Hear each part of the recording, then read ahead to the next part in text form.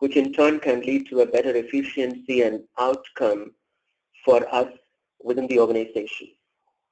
I will talk through some new data and insights, I think, which uh, really need to shape why we are talking about this topic and help rethink some of our assumptions that we carry through. We are going to look at uh, some specific elements of, uh, just bear with me as there seems to be some issue with the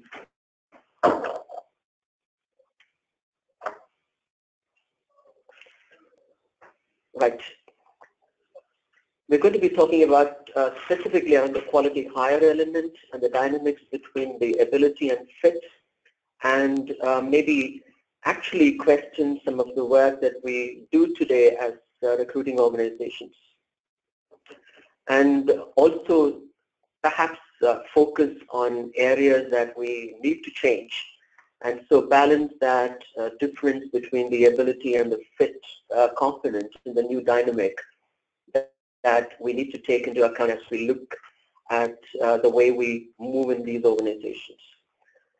We'd also look at uh, what the best in-class organizations do around this and um, or talk through some key imperatives uh, that are, in my view, critical for us to bear in mind even as we build a better talent uh, selection process.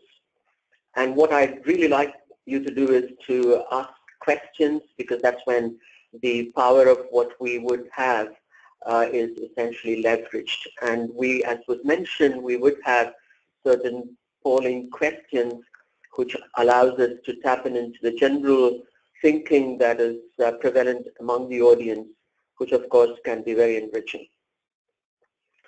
So what I'd like to do is to go on to the first polling question.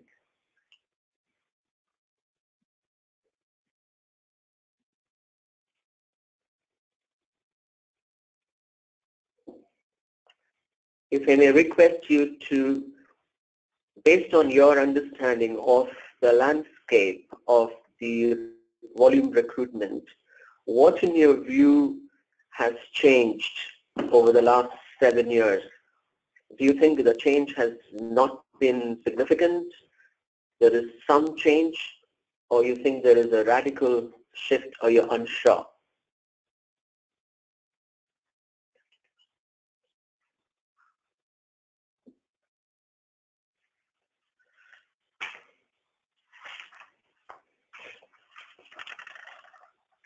We'll give you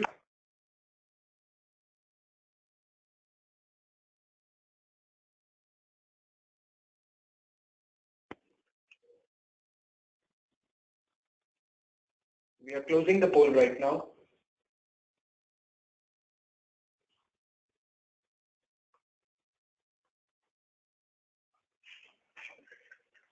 Right, um, that is very, very clearly telling and I think uh, we are completely in sync with the response. There is a significant percentage of uh, the total audience who have indicated there is a radical shift in the way volume recruitment has changed over the last seven years. And uh, for those of us who think that it has not changed at all, uh, clearly we, uh, we, we possibly are living in uh, a, a, space where uh, we perhaps have been absolutely untouched by the environment. And for those of us who think there is some change, you are being pulled in by the various dynamic in the environment that you are exposed to. And for most of us, uh, there is a significant change in the entire volume recruitment space. And that's clearly what we would like to uh, leverage uh, even as we go in into the session. And what we'd like to do is to, before we get in into the meat of the session, maybe do the second poll.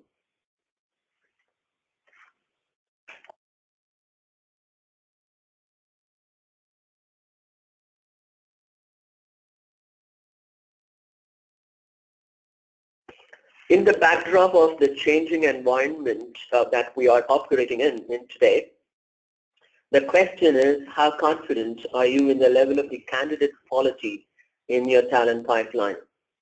And the options that you have are you're extremely confident, you're confident, you're somewhat confident, or you're not at all confident. And here is again an opportunity for you to exercise your uh, votes and indicate the level of confidence that you think you have with regards to the quality of candidates in your talent pipeline.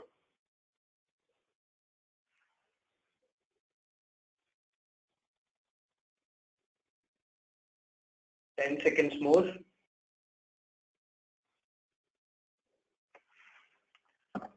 We'll be closing the polls now.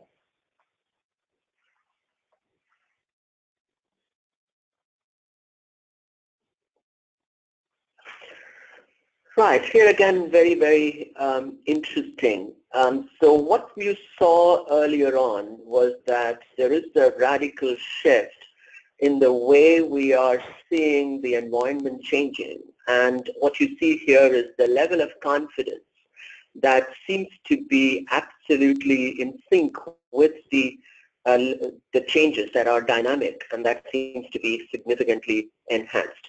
So the overall sense of confidence is very, very high. And in the backdrop of what we said, that the entire recruitment uh, landscape has significantly changed. It becomes important for one to be able to recognize the drivers that are leading to this and how do we manage this is very, very important. So in that backdrop, what I'd like to do is to uh, link up and set up that context in the new work environment that we are operating in and uh, where there is a significant enhancement in the higher volume of applications.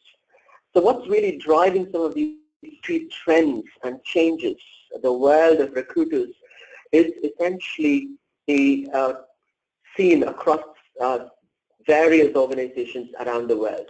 So over the last decade, technology has virtually demolished the entire barriers that candidates seem to face when it comes to applying for jobs.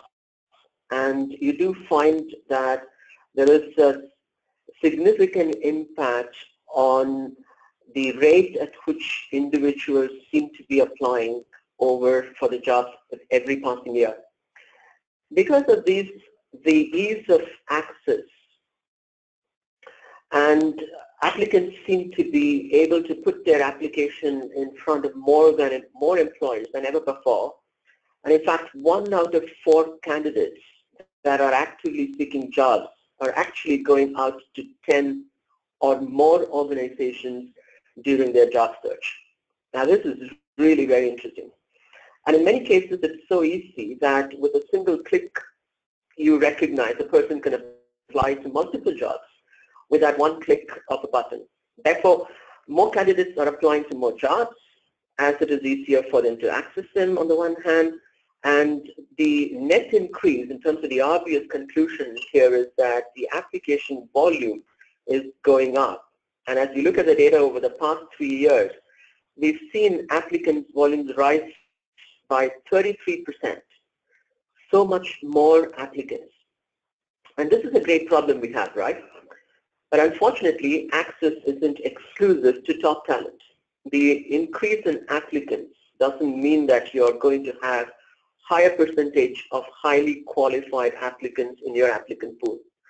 In fact, because it is so easy to apply, we see that percentage of highly qualified applicants for any volume posting are actually getting smaller. You know, when you look at the number here, nearly over two-thirds of the applicants in any volume position are considered lower or average quality applicants. So we can talk about the cost of this at a different point of time, but speculating the why not, if it is so easy to apply, why would I take a shot? Maybe that the candidates are looking to hit the employment lottery nothing to lose really by having such an easy access of applying. Just going to summarize uh, the background here. So the technology has had a great benefit in terms of the access to the top of the final numbers and um, you possibly will have uh, will have a situation where you're looking at a needle in a haystack, and that's what uh, always uh, has been the issue in terms of finding top talent. Now, essentially, it's the same number of needles that we are having more haystacks and uh, bigger haystacks, perhaps, to look through. So you really have a challenge in terms of being able to identify just that top talent that you're buying for, and uh, that's not easy to come by. So with all the aid of technology, you still are finding yourself falling short. Now, everybody knows that it's easier to apply, right? The volumes are going up. So in response to the situation, the organizations are just throwing more resources at the recruiting functions. And I probably think I can hear the audience right now would be groaning potentially at the, at least ironically laughing. But this isn't the case. Recruiting te teams are stretched. To give you some data here, very few organizations are throwing more money and investing more money in the recruitment function. So we are not, not getting enough headcount and additional resources to help with the increased volumes.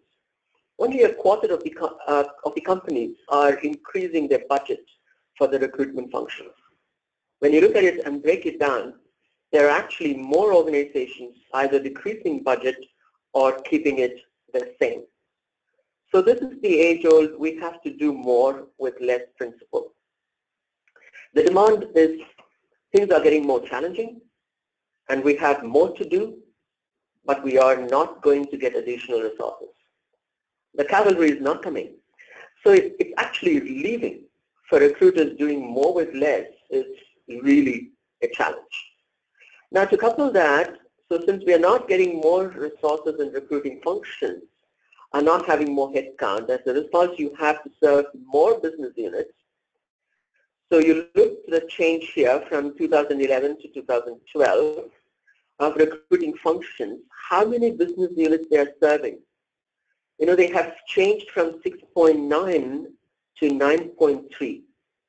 So what does that tell you? It, it tells you that you're essentially having to support more areas of business now than what you did a year ago. And this is, again, legacy data, but nevertheless indicative of what you would experience, and perhaps it becomes even more complex in today's context. Looking at the number of hiring managers that an individual is serving per recruiter, same time period went from 18 hiring managers to 22 on an average. So in short, the pressure is building for recruiters and the option you are left with is spending less time on each applicant, or what I will argue here is to take that approach, and I would take a moment to discuss some of the factors that are really going to be critical from a selection decision point that we are making. So what I'd like to do is to focus on the key recruiting challenges affecting the corporate performance you're essentially looking at only 25% of the hiring managers who report that the recruiting function influences their selection decisions. Now, what a dismal display that is. And you have the new hire turnover rate is 7% higher compared to all employee turnover. And that again is a compelling piece of, of evidence. Now what does that mean? People are coming in into the organization, but they are not necessarily delivering the expectations of the organization. And that is clearly a cause for concern. And you find 20% of new hires are considered bad positions, 20%. And only 35% of hiring managers are satisfied with uh, the impact we really have a situation here uh, that calls for uh, serious introspection and course correction. So in that context, what I'd like to do is to talk about defining the quality of hiring. And what I'd like to focus on here particularly is to, to understand what is it that you're looking for. And that understanding in turn should necessarily help us to be able to have a clarity with regards to where are we investing our time and effort in. So the question is, what has a bigger impact on the quality of hire? Is that ability, which is, as we know, the knowledge, uh, the skills that are fundamental for effectiveness of the job? Or is that to do with the fit, which is essentially the new hire relationship with colleagues and the organization that the individual is operating within? And that's a very, very critical question that we need to ask ourselves. And perhaps this is an opportunity for us to go in into poll here again. And what I'd like us to look at is what is it that impacts the quality of hire more? Is that ability or is it fit in your view?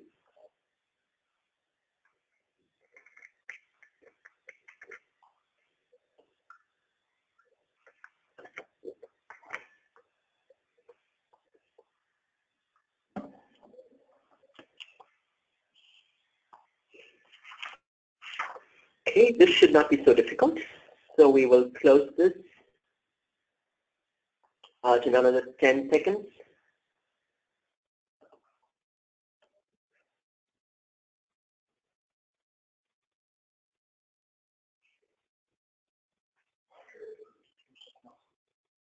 Okay, we're going to close the poll. And even as the results come in, and very interesting, that the result seems to indicate that ability and fit are perhaps almost equally important. And you have 45% who have said that it is to do with ability and 55% uh, who said it is to do with fit. Very, very spot on. So if I can move on to share with you how we experienced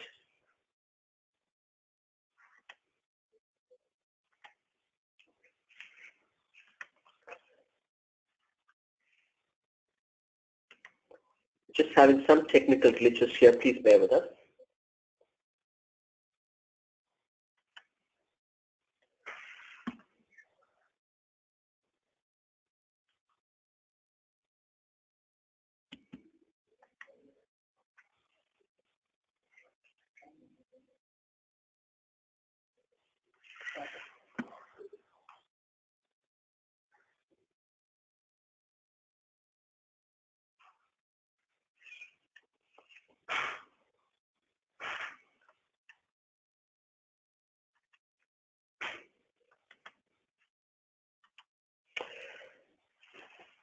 Sorry about that. Um, you know, the best of preparation seems to sort of go awry at. So here's what we found in terms of uh, the, our research uh, based on the selection effectiveness diagnostic survey that was carried out. It's really not just ability, it's fit as well, and uh, your, your poll is absolutely bang on. So the focus here is that there are two types of new hire qualifications as we break it down. It wasn't quite attitude as the audience would say. We're going to be asking that uh, question. But it's, it's, it's an even split as, as we found out between the ability impact on the quality of hire and fit. And really it's important to know that they are equally important. And what I will talk about in next is how are we really seeing that in the way we are evaluating our talent. So because now we are um, in a position to look at ability and fit as both being equally contributing to the overall quality of hire, hopefully we are spending equal time on those when it comes to evaluation. And that's potentially a summary that most of us would have. But unfortunately, it may not be surprising when you look at it that the way we are looking at resumes or the way we are looking at interviews and where to look at the content of uh, what you are scanning for, you perhaps will find that uh, what you're actually measuring or evaluating in these instances are actually to do with ability. So what we are saying is that there are a number of instances where the selection process becomes focused on ability rather than on fit. Three-fourths of the people who make it through the process are really strong in areas that we would potentially classify as ability. So that is to say that they have the prerequisite knowledge, skills, and experience that is required to perform the job task. Where we see the problem is that 35% of the hiring are high in fit. So to me, clearly, this reflects that we are seen as what you would expect typically in selection programs. So for example, if you were to hire a skilled mechanical maintenance person in a production context, you know, you're going to spend a lot of time looking in the selection process with regards to the technical ability of the individual in terms of does the individual know how to troubleshoot uh, when uh, the individual is encountered with a situation with, uh, say, a pump or a displacement pump or the technical requirements of uh, uh, questions and queries that might come one's way. Uh, or if you were to look at a call center job, you possibly will have a situation where you would say, does the individual fast, fastly type enough? Uh, can you effectively use technology or uh, is the individual in a position to be able to speak clearly on the phone? And these tend to be really the focus areas. And these are then what you evaluate and you focus on uh, the traditional programs that tend to emphasize these. So if fit is important, then we are clearly underemphasizing it to treat that as an opportunity to improve. So the next question is, how do we know what is fit? We need to find an answer in terms of what really do we mean by fit. Critical understand what we are looking for. So we will start breaking that down. And when we think about fit, most people have their own definition and what it means to be a good fit. When I say that fit drives performance, I'm talking about very specific fit. So let me break this down in, into a little more detail and talk about the first aspect of who you are fitting with. Who do you need to fit with? Or what do you need to fit into? Really the divide here is very clear. It's not just the organization, which is somewhat important but the biggest impact of what drives overall performance is that extent someone fits in with their immediate context in terms of colleagues, in terms of individuals, their peers, their managers. So the way that someone works with their peers, their managers, the people they mostly interact with, that is perhaps the most important piece based on research. But that said, then it's really about how someone fits.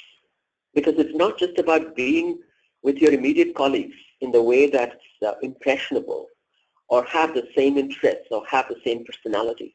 What we actually see when we look at how people fit with those people they are immediately surrounded with, uh, their immediate colleagues, it's not the traits such as their personality, as we traditionally understand personality as a good personality or a bad personality or how far is the individual likable or not likable, or the way they get along with their colleagues.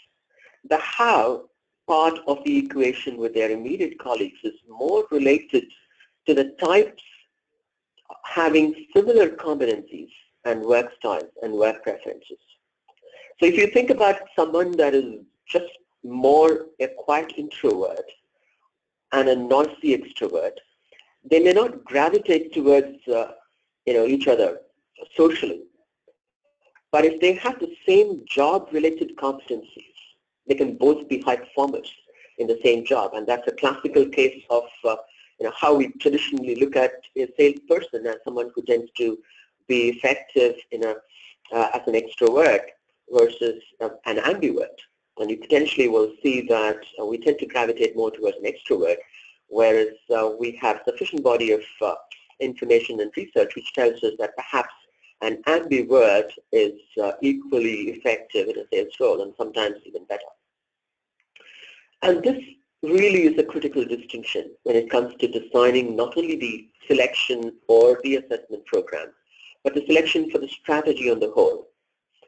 You do hear a lot of clients that uh, you know one works with in the market looking to create some kind of an assessment for an identification system which helps them find more candidates that have the same personalities as what the high performers have.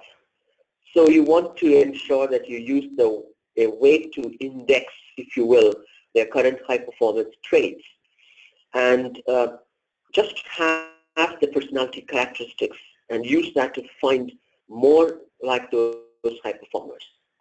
In practice, that will basically provide you with more people that get along on their job and are more happy when they are together. But it's not necessarily going to mean that they're going to perform better on the job. So that isn't to say that personality isn't important, don't get me wrong. But it's really critical as you think about the fit. It's fit in terms of having similar or having same types of competencies that either complement or consistent with each in the same types of workplace preferences. Not the social factors or personality factors. So let's define who you need to be fit with the immediate colleagues and the types of competencies related to work. So when you look at the fit, you can define for if you are to be or manage to be able to identify the candidate that you consider high in fit, what we call as network fit, and what returns we have for this. So I'd like to examine the impact of selecting three different types of fit on performance. So you see some of the serious differences in returns as well. Starting with the culture fit. If someone were to align to the organizational culture and values, you will see clearly some returns from that culture fit. What we have seen in our research is that 12% maximum impact on the overall quality of hire. But that's a good list. But when you look at the network fit, so that's with the immediate colleagues on competencies and preferences that are related to work, you're going to see a bigger return in the neighborhood of 30% impact on the overall quality of hire. So that's determining what type of fit did you look for. Really the story is clear. And it's not to say that the organization is not worth a while endeavor to find people that fit the organization's culture. Again, don't get me wrong, but the import here is to be able to look at job-related or network-related fit components because these really are going to provide returns when it comes to the overall productivity. And uh, as I'll show you in a moment, the overall ability to reduce turnover. So some specific examples, because employers with network fit and improve the performance of other employers in the network, you really start to see a snowball effect in terms of profitability and turnover when it comes to network fitment and returns that you get from hiring people that are high on this. So if you look at the impact of profitability of hiring people are a bit high on that. The average here you see is 16 million US dollars was the average for Fortune 500 organizations per year. And I just faced some questions on the calculations, but it's really built up on what we examined through our detailed research built up and we're looking at the average profitability differences. We see from the business unit that is lacking for this network fit or the job-related specific competencies compared to those that don't. So that improvement we see for the business unit building that up and using the average Fortune 500 companies income and uh, revenues. And besides of these are the projections that you are likely to be right on in the middle of the Fortune 500 organizations. Similarly, it does not, it, it does have a very big difference when it comes to turnover.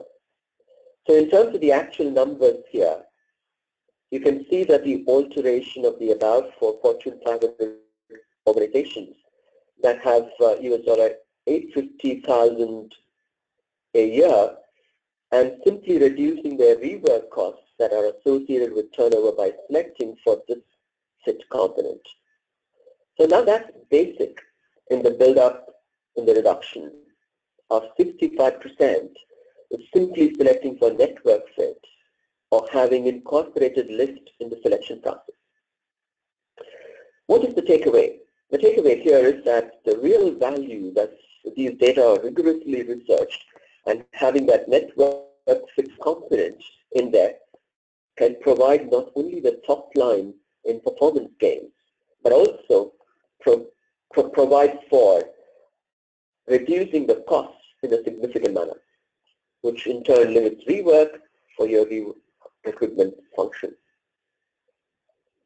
So to give specifics, my advice really goes down if you really want to make your recruitment process more efficient, the focus on time of any human extending effort in the recruitment process on those activities that actually require human interaction is to necessarily go down. Your human capital time is the most expensive part of uh, any recruitment process, as you will agree with me. So you need to make sure that when you have someone expending efforts that are focusing their effort on high value activities, you really need to look at that closely. So as recruiters, if you are assessing for both ability and fit, as we talked about, you will waste less time sifting through those unsuitable candidates. If you're spending an entire day looking at resumes, you're probably looking at ability and definitely not fit. So you can't really tell much about either of those by just looking at a resume. And it's not the best use of our human resources time. So focus that time on truly measuring what are the salient elements of ability and fit, and then transition into automating those other value activities is the first step or summarization of how to increase the hiring effectiveness. And to take action on this, the best way that I have seen to work is to do this to empower the recruitment function, which is the first thing in strategically aligning the hiring process and then building it the way that you do in automating all those manual elements and the administrative elements that you are engaged in, which consumes a significant amount of your time. And by integrating an objective assessment, looking at the fit and ability, you are lessening the burden on those administrative activities. So what we have seen, and I will show in a while, some specific gains that organizations have seen in terms of recruiter efficiency, and we have provided up to 50% gains or more by having some of the automate uh, systems that we have put in place. And that uh, brings us to perhaps the next poll question.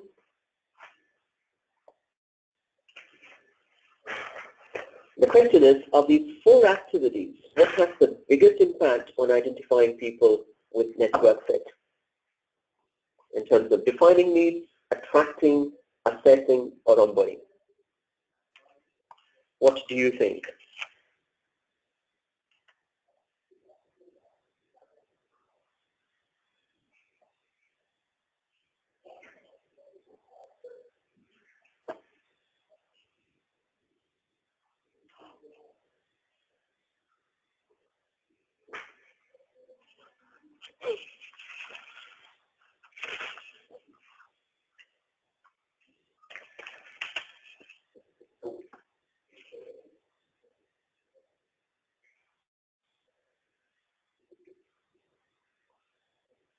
Okay, we're going to close the poll in another few seconds.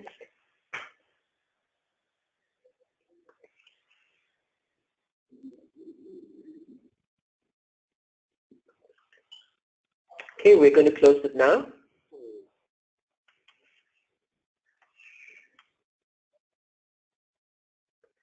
Right, so interesting that we have a substantive percentage, 41% of individuals who seem to indicate that uh, assessing is the most important aspect that has the biggest impact in identifying people with network fits.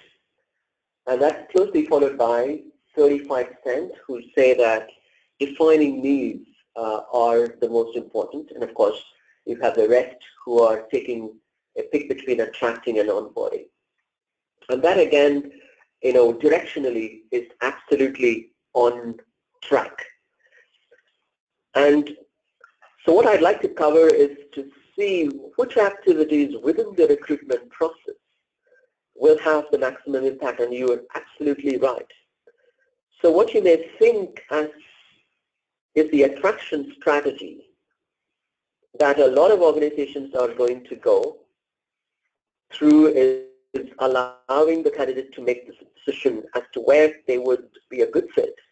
But what we see is the biggest block in terms of measuring and quantifying an applicant's fit is with the assessment piece. So you can't even do the assessment unless you have done the defining piece in terms of having a clear understanding in terms of what is it that you need to be looking for.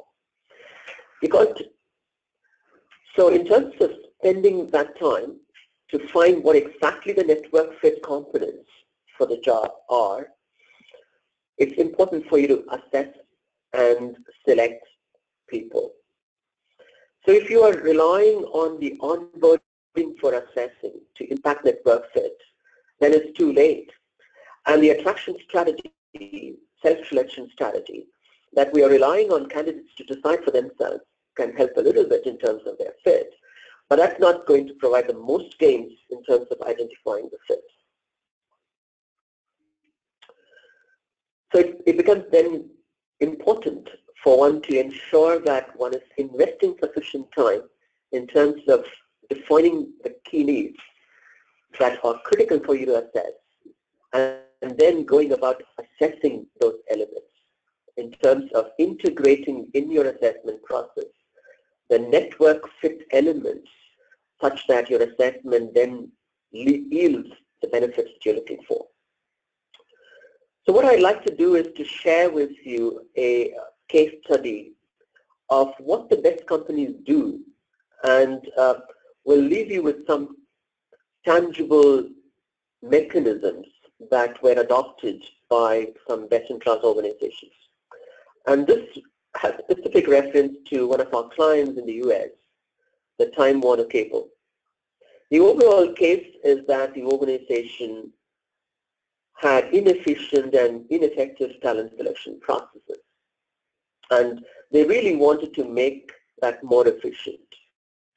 There was a lot of manual effort involved and really felt that they could do a lot better and be a lot more effective. And there were certain critical client-facing roles where they, the employee turnover challenges were significant. And, and those were the, the two key areas that they wanted to tackle. So to get to the solution, the steps that we took to, was to define a new process that incorporated assessments early in the hiring process.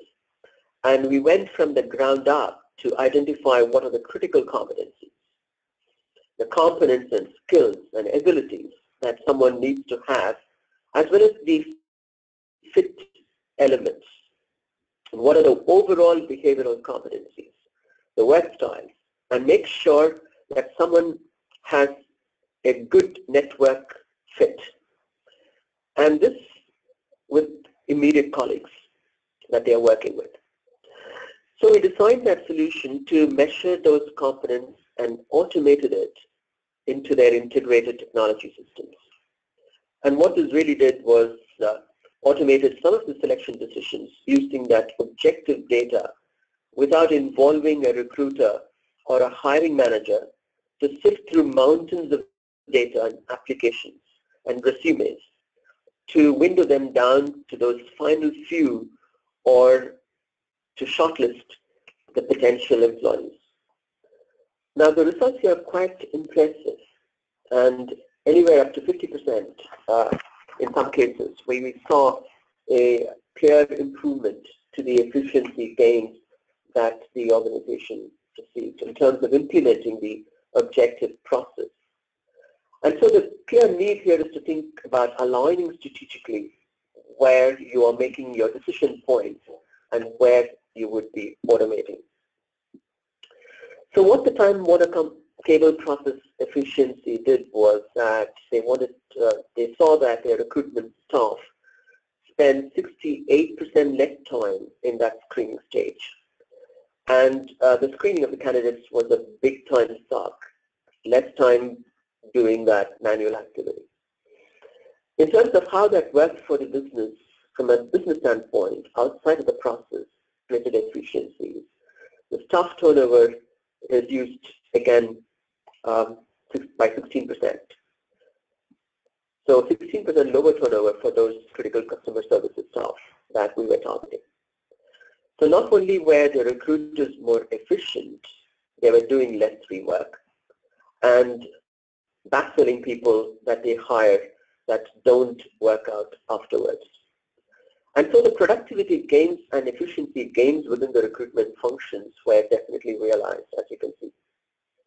And more than the efficiencies, it provided an impetus to the overall business performance because we were uh, finding the fit components, not only the abilities and the sales skills of the customer services skills. So what we see is the net gains in the sales performance for the new hires, for the new hires that scored in the top quartile on the assessment scores of 21% more units per month, which is close to 30,000 US dollars per person per year. And those are real gains. In addition, the sales performance, we also saw a higher quality score because we, we found that they have better ability and fit with the role and they are better at solving the customer's problems. So again, in those top quartile assessments, the new hires that were in the assessment were better in troubleshooting, and that resulted in fewer services, which is uh, visits that, as you can uh, envisage, that they would have to send someone to someone's home and do some installation work and so on and so forth. And the net savings per employee in that top scoring category was over uh, 13,000 US dollars per employee per year. So to summarize, these are efficiency and effectiveness gains uh, from thinking strategically and aligning your recruitment process or the selection process in terms of what you're looking for and implementing those automated and efficiency tools uh, that can bring about. The cost savings savings and the time savings along with just the ability to, uh, for applicants, have clearly been increased. Now you can actually get to all these applicants more than just looking at a couple of seconds at some resumes and not really giving it a full consideration of the benefits uh, that accrue or significantly higher. So with those, I know that there's some questions coming through, but uh, let me very quickly walk you through the top tips that we would like to highlight for you in terms of managing your talent selection process. So to really boil it down in terms of the key takeaways, what is it that we're saying? Focus on measuring what matters. So think about what you're assessing, whether that's relevant or not. Are you integrating those elements of uh, fit, the network fit that we talked about? So make sure what matters and make sure that everything that you're evaluating at every step in the process is actually the right thing to look for and that you're using the best method for evaluating that. The second element is uh, to drive ROI. So again, you're not testing or interviewing or doing any of those activities just for the sake of it. You really prioritize everything that you're doing so that you are identifying those traits, those abilities, those fit aspects that are uh, the biggest drivers for performance of turnover. So if there are certain competencies or work styles that people have that lead to turnover, that's a good thing to focus on. So, you know, am I really driving ROI? Next is to engage candidates. Now, it may sound like we are living in a very employer-centric uh, uh, view of uh, world where we just get rid of people who don't meet our expectations, uh, who are not suitable for our organization. But having a job relevant, engaging, and act is uh, actually perceived by candidates as uh, very, very engaging. And it leaves a significant impact. An assessment process that is job-related, a selection process that is job-embedded, which uh, really focuses on taking the individual through a rigorous view of his capabilities, but assessing for the fit elements uh, clearly and communicating this in a consistent manner with the individual clearly enhances the overall effectiveness. The next is, and of course this is uh, uh, clearly something that you would be interested in, the need to work for you or work with you and not against you. I say this, it's, it's not testing or selecting or interviewing just for the sake of that activity. It's, all it all needs to be purposeful, especially with assessments. It needs to provide data that makes you help take decisions and not impair you. And of course, you need to embed the entire program. The process uh, is to ensure that you make this as a, an integral part of what you are doing and enhance the sensibility in terms of relying on the RIMS uh, not to rely on the rims of inexperienced hiring managers and select your talent using something that's standardized and inconsistent to evaluate those job images, knowledge, skills, and abilities and fit will make the process more objective and really help your organization comply with more professional and regulated standards which will then become the key. So with that, um, that brings me to the end of this presentation and open up for any questions that we have.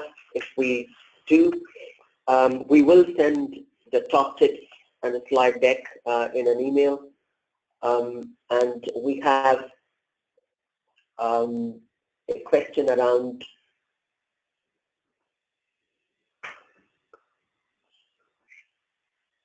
we have layoffs. When layoffs are happening across multiple sectors like IT, e-commerce, startups, telecom, what do you think should be the key focus areas for recruiters when they are uh, um, under tremendous uh, pressure of hiring? Um, again, that's for that question, it's extremely important for you to uh, recognize uh, that you inbuild a highly tech-enabled process which will select, which will help you sift out candidates who don't necessarily meet the cut and select in candidates who have the wherewithal from a, a perspective of fitment and ensure that you are bringing those individuals who have a fit forward.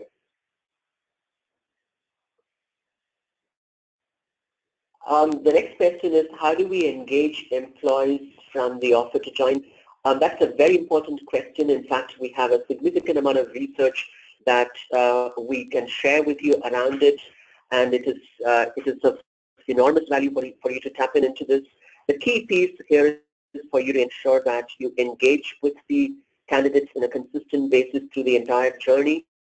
And even as you're walking through that journey with the individual, you provide opportunities for the individual to uh, dialogue with. And we have a fantastic product called Precise Fit, uh, which is uh, a cutting edge um, off-the-shelf uh, model, uh, which can be customized to your specific requirement which actually allows you to guide the uh, entire potential talent pool on the entire selection process on the one hand, and also to engage the participant by providing an overview of the uh, process, how the individual is doing, is progressing, does the individual have the wherewithal the uh, to, to have a glimpse of the individual's capability from uh, a realistic job preview and then help the individual to self-select either to progress the, the uh, candidature further or to annul the candidature and so on. Uh, which assessment activity will be on the first priority uh, for a startup uh, or a relaunch uh, company? Uh, well, thanks very much for that question. I think the answer is something that was uh, alluded to. It's very important for you to look at the, both the elements of ability and fitment. It's important for you to ensure that you have individuals who have the requisite capabilities. That's your threshold because that will be a clear premium in terms of uh, the cognitive ability to allow the engine to propel forward. That having said, you need to ensure that you also look equally on the fit and without the fit you probably will have a group of highly cognitively able individuals but who are not necessarily uh, have the wherewithal from a culture uh, and from a fitment standpoint. What should recruiters do when the majority of the applicants are average or below average? When the applicants are good fit in terms of long-term employees? Again, very good question. Thanks for that. I think the key is for us to ensure that we set our benchmarks right. I would I would be very wary of any organization that is uh, uh, that takes the shortcut to uh, allow for uh, individuals who are perhaps not meeting the bar, who do not meet the cut to be injected into the organization just because you have a pressure to have, for want of a better word, a bum on the seat, it perhaps is not a good idea. It's not going to help you in the long run. So it's very important for one to be able to take that call. And it's a considered call. You need to, of course, you can't possibly bring people from Mars. You need to see what you're perhaps doing which is working well, what you're perhaps doing which is not working well, and therefore the need for you to try and find that uh, effective balance. And definitely reach out to uh, CEB uh, and we will be in a position to help support you in that process. Uh, which are the areas to be considered to assess the network fit Again, thanks for that question. It's a, it's a very important piece. There are key components that uh, are critical. One is in terms of uh, how far is the individual in a position to be able to be part of the network? Is the individual in a position to uh, integrate himself or herself with the critical stakeholders? How far is the individual in a position to be able to, at a more senior level, build the network or energize the network uh, create those interdependencies and being in a position to be able to involve and engage with others and enable the network to perform in a higher rank. And again, we have a number of uh, data points around this. Please do reach out to us. We'll be happy to support you on this. Um, there's a question around organizations that conduct high volume recruiting should have a centralized sourcing team and a full life cycle team that work together to provide support. This centralized model consists of sourcing experts that spend 100% of their time focusing on sourcing and researching new talent pools. Your views how team structure is critical. Thanks, thanks Vivek for that question. Um, you actually, um, in a sense, alluded to the answer. Uh, when you have uh, high volume recruiting that's going on and where you have those uh, teams that are focused on sourcing, from uh, uh, the other aspects of the recruitment process. I think it is it's it's a powerful way to leverage uh, scale and ensure that you are focusing on what you are perhaps the best at and you create a sufficient sense of uh, capabilities over time to be nimble enough to uh, manage the changes uh, in the environment and also to ensure that you are on top of the sourcing component and that in turn allows you to feed in into the overall um, recruitment process. Uh, so to, to simply answer that, I think it's very important for you to look at your structure and you look at every single component within the structure, particularly in the context of what we said that you have recruiters who are uh, largely being supporting a number of businesses and that is increasing and that will continue to increase. It becomes perhaps very important for one to be able to take an overview approach towards having that structure clearly lined out and also ink the specific responsibilities of specific individuals within that structure. Thank you, Dr. John. Is it possible to transform the existing employees into network fit and how can this be done? Um, yes, uh, that is a very good question and that is where the entire development uh, element go in. So for you to be able to move that individual from an existing um, or where, where he is and transform or transition the individual into a network fit, you need to do an assessment first to understand what exactly is the individual stand on uh, the network fit, how far is he from the network fit to begin with, and then you go about looking at uh, managing the uh, entire uh, transition through development inputs. Um, with that, I think we have uh, come to the end of our time. Uh, so thank you so very much for your questions, and I do find there are significant amount of questions that are there. Uh, we'd uh, revert to you with uh, possible responses, and of course, feel free to you know, call or touch base with us, and be happy to support you. And thank you so very much for your time this morning. Thanks. Thank you, Dr. John. And on my personal behalf and on behalf of NHRDN, I really thank Dr. John for sharing their wonderful thoughts, insights and experience with us. We are indeed grateful to you, sir. Thank you, ladies and gentlemen. We look forward to your participation in our future program. Thank you.